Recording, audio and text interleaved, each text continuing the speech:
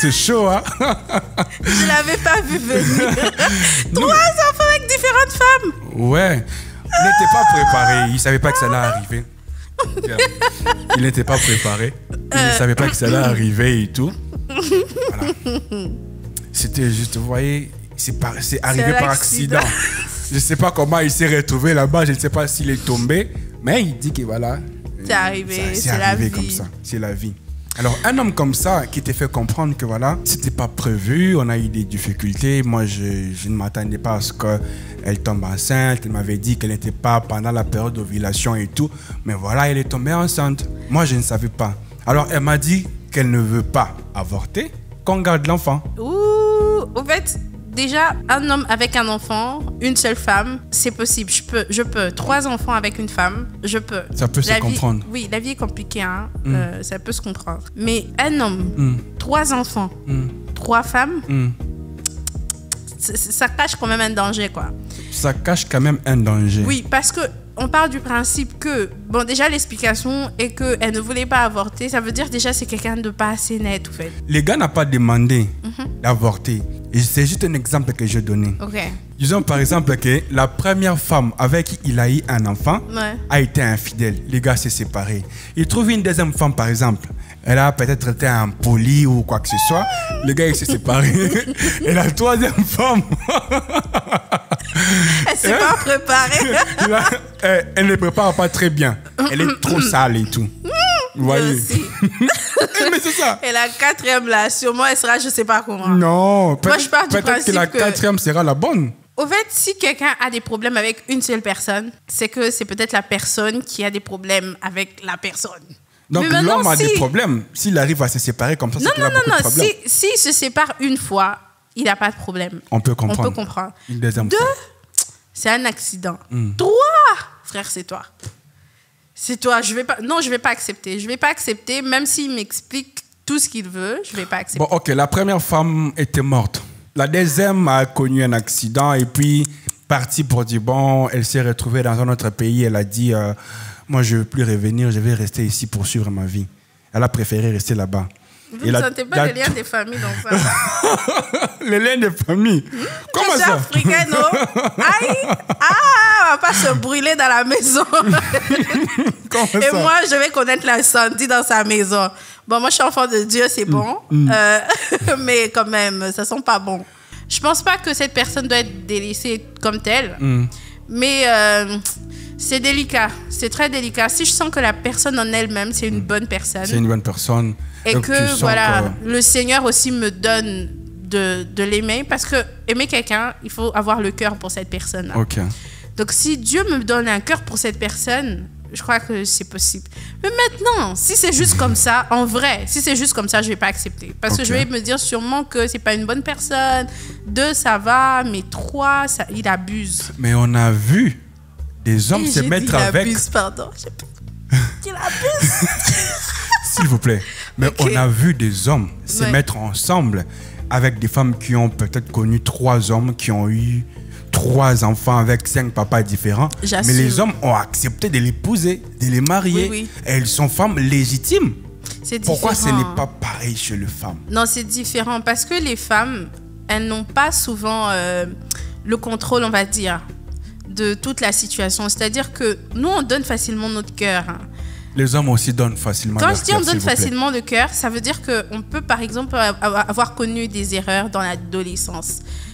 Je dirais que ça arrive aux gens, par exemple, de connaître euh, des moments compliqués dans leur adolescence, on va dire. Une femme qui n'était pas préparée, naïve et tout ça. Parce qu'une femme qui est dépendante affective peut connaître euh, des hommes toxiques dans sa vie. Elle peut aller d'homme à homme. Ok. Et puis avoir des enfants Elle est toujours à la recherche d'affection Oui, et oui. tout. D'accord. Mais les femmes mûrissent, au fait. Oui, nous, les femmes, on mûrit. Elles mûrissent, elles deviennent quoi? Matures, intelligentes, Oui. elles apprennent en fait, beaucoup de choses. l'expérience les rend sages. Ce qui est Elles par moments sages. différent des hommes. Ah. Oui, oui, oui. Les hommes Oui. Attention, je suis un homme, hein, je suis en face de vous, je vous écoute. Les hommes ont fait quoi? Les hommes ne sont pas souvent prompts à apprendre de leurs euh, erreurs. you know.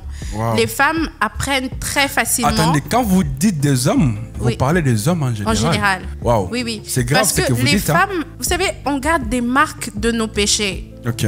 Les femmes, on, on est souvent victimes de notre propre péché. Ça veut dire que tu as péché avec un, un homme, c'est toi qui vas porter l'enfant, c'est toi qui portes la honte, c'est toi qui connais tout, au fait, tout de mal, presque, on va dire, de la relation, tu vois, en- dans ta propre chair. Ça veut dire que ça nous marque tellement qu'on ne veut plus revenir dessus. Mais les hommes ne gardent pas cette marque dans leur corps. Un homme qui couche avec cinq femmes, on ne le voit pas directement à moins qu'il ne tombe malade. Mais une femme, elle peut tomber, déjà que c'est douloureux, et puis elle va être enceinte, et puis l'accouchement même c'est douloureux.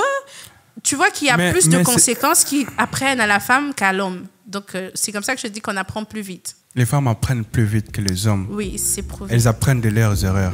Oui. Et les hommes n'apprennent pas. Non, ils apprennent, mais pas au même rythme que nous. C'est comme ça qu'une femme avec trois enfants Ouais. peut être épousée par un homme et vraiment, elle le met très à l'aise. Mais un homme Hmm. avec trois enfants dif- de différentes femmes. Ouh Ma tante m'a dit un jour, Hmm. Ma fille là, faut ouvrir les yeux. Il faut ouvrir les yeux. C'est les femmes, franchement, nous, on est tellement, euh, on est vrai. On est très vrai. Ça veut dire qu'une femme, quand elle t'aime, elle t'aime. Un homme peut, dire, peut te dire qu'il t'aime. hum, un homme aussi, un homme aussi quand il te dit qu'il t'aime, il t'aime aussi. C'est à vérifier en général. Et les femmes aussi, c'est à vérifier. Et Si vraiment, c'est de manière femmes- très particulière que je le dis. Hein. C'est pas Ah, un vous truc. parlez euh, de votre expérience personnelle Non, non, je dis, je dis, euh, Donc, si je comprends bien, pour une femme, c'est normal. Mais pour un homme, il faut se poser beaucoup de questions. Il faut aller chercher Jack Bauer pour sa situation là. Je, je- moi, je pense qu'il faudrait aussi se poser des bonnes questions. Les femmes, à chaque fois que je dirais une zélé, comprenez que je parle de la femme. Sinon, on risque de nous bloquer. Donc, les nzélé sont dans les mensonges. Elles Hein? savent très bien mentir. Ah bon? Elles savent très bien dissimuler les choses. Raison pour laquelle vous verrez une femme qui sort, par exemple, avec cinq hommes sans qu'on ne les sache. Raison pour laquelle? Pourquoi? Parce qu'elles savent bien dissimuler les choses, elles savent bien mentir. Quand vous dites que non, les femmes apprennent vite et que les femmes, voilà, ils aiment avec tout leur cœur, je pense que c'est c'est abusé quand même, si vous pouvez me permettre de le dire. Parce qu'un homme aussi, quand il aime, il est sincère. Il apprend de ses erreurs aussi. Donc, je pense que c'est 50-50. Ne dites pas que c'est plus les femmes qui ont tendance à, À apprendre. à apprendre vite. Les hommes aussi, ils apprennent de leurs erreurs. On a tendance à changer quand c'est plus physique, au fait. Ça veut dire il y a des gens qui ont arrêté de fumer parce qu'à l'hôpital, on les a dit si tu n'arrêtes pas, tu vas mourir. C'est à cause de ça qu'il a arrêté. Donc, quelque part, la femme, elle change, qu'elle soit chrétienne ou pas, qu'elle soit, qu'elle ait des bonnes morales ou pas, des bonnes valeurs Hmm. Qu'elle morales soit, ou qu'elle pas. soit musulmane ou... euh, Elle change. Pourquoi? Parce que c'est une douleur qui t'est infligée dans ta chair. Donc, tu te sens obligé de changer et d'apprendre très vite. Mais les hommes, ça peut prendre du temps parce que la colère, c'est vrai que c'est dans ta chair, mais ça ne te fait pas souffrir. On va dire, c'est pas une, c'est pas comme si on t'a tapé, tu vois. Bon, euh, je comprends. yeah. Je, je comprends euh, votre hypothèse, mais seulement, vous n'êtes pas forcément un homme pour comprendre euh, ce qui se passe en réalité chez les hommes. Vous Mais voyez on peut observer, hein. on peut observer. C'est vrai qu'on peut avoir le souci de changer, mais on pas ne change pas forcément. 100%. L'observation ne donne pas les résultats à 100%. Ça, c'est une certitude. Madame Vanessa ici dit qu'elle ne se mettra pas en couple avec un homme qui a connu trois femmes et qui a eu trois enfants. Non, Non. pas facilement. Pas facilement. C'est-à-dire que vous n'êtes pas une bonne personne. Vous n'avez pas de l'empathie, vous n'avez pas de la compassion, vous n'a- vous n'arrivez pas à, à comprendre les gens. Et surtout, si je dois bien préciser, vous n'avez pas de l'intelligence émotionnelle. Je suis prudente. Vous êtes juste prudente. Yeah. La prudence exclut le fait de se mettre avec un homme qui a eu trois enfants avec trois mamans différentes. Je peux le faire, Vous pouvez le faire. mais à une seule condition, que je sois vraiment sûre que c'est une personne. Comment est-ce que vous allez être sûr du moment où vous n'avez pas connu la personne, n'avez pas partagé ou discuté pour comprendre ça? Je vais lui donner un peu de temps, un tout petit peu. Tout- Non, non, non, non, non, non, non. Les bénéfices du doute. Avant même de donner du temps, je crois que je dois être sûre quand même que c'est quelqu'un de fiable. Quelqu'un de fiable. Comment vous allez, vous allez, vous allez les savoir? On le sait toujours, au fait. On prend le temps de, de poser des questions, je sais pas. Vous Il y a toujours poser- des indices. Vous allez poser des questions. Et de prier aussi, hein. moi je vais prier.